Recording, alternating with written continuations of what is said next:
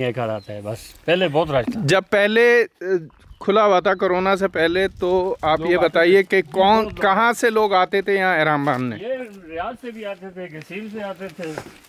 अच्छा। इधर ताइफ से ये शहरा से इधर इस इस इलाके से जो भी आता था जिसको पता था मिकात का नहीं हाँ। वो लाजमी आता था इधर। इधर ही आता था। हाँ ये पुराना मिकात वो ताइफ वाली उसमें मिकात में नहीं जाते थे। सैलिल कबीर की जो मिकात है। गाड़ियाँ जो है ना जो रियाज से इधर उधर डायरेक्ट आती हैं जो बसें वगैरह वो तो उधर ही जाती हैं। अच्छा। लेकिन इधर प्राइवेट गाड़ी वाले जो लोग हैं ना अपनी गाड़ियों हाँ। वाले। किस रास्ते से आते हैं वो?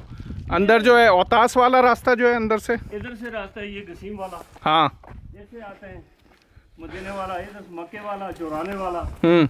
ये रास्ता है ये शेरे वाला रास्ता है ताइफ वाला इससे आते हैं। दूसरी बात ये बताएँ आप हमें कि इस ये मस्जिद की तामीर अभी तक कंप्लीट की नहीं हुई है।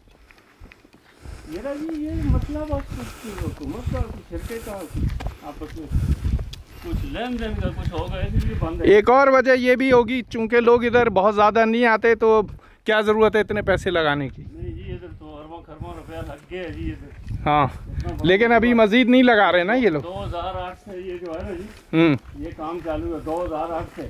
2008 से। अभी 20 जा रहा है। हाँ। खत्म हो गया इक्कीस शुरू हो गया। हाँ। 12 साल हो गए। हाँ। इधर कितने ही मिलियन ये विला चौदह पंद्रह विला जायज़ है तैयार है मस्जिद तैयार है सिर्फ़ उसका बस थोड़ा बहुत काम है अंदर। करवाई का काम हो गया बिजली का सफाल्ट अंदर डाल दी है हम्म। दो कुबरी है बाकी आगे। हाँ। और वो है। ये रोड का मसला है इस रोड का। ये रोड जो है ना हाँ। ये रोड 25 किलोमीटर अभी कच्चा है ये निकाल से आगे। हाँ। सफाल्ट नहीं है। उसको कहते हैं औतास वाली रोड है ये औतास कहलाता है। इसको जो है ना जी ये ये कंप्लीट करेंगे हम्म। फिर ये चलेगी ये निकाल। ये आगे तक बिरके तक चली जाएगी एन जुबैदा जो है हाँ बिल्कुल। तो ये किसकी गाड़ी खड़ी हुई है अभी? ये शिरके की गाड़ी है।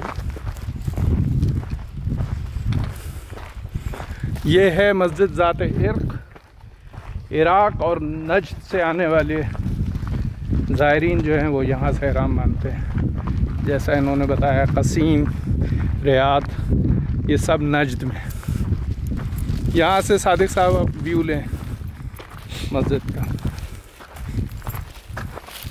तो आप ऊपर होते हैं यहाँ पर? क्या है कुछ?